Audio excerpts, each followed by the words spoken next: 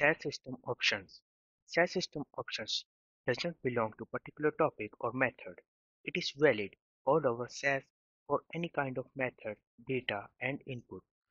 SAS system options are parameters that you can set in order to control the working of SAS, the format of your output, memory used by SAS, how SAS handles errors, and so on. Though by default all SAS system options have default settings, but still you can manipulate them by use of options statement. Let us have a look at few of the common options that we regularly use. These are center, date, number, line size, page size, page number. Go through this table. Though in our output we have our default settings by SAS, but still if we use statement like options page size equal to 60 line size equal to 80 no date semicolon. This tells us that page size equal to 60 that means no more than 60 lines in each page of your output.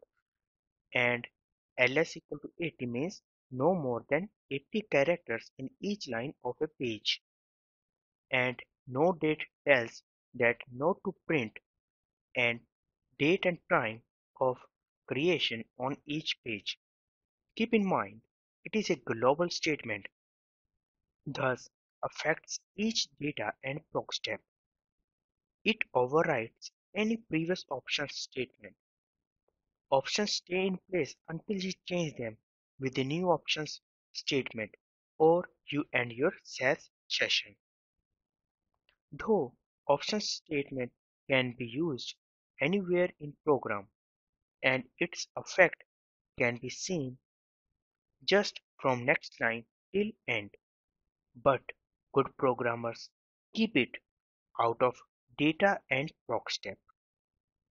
That's it. See you in next lecture.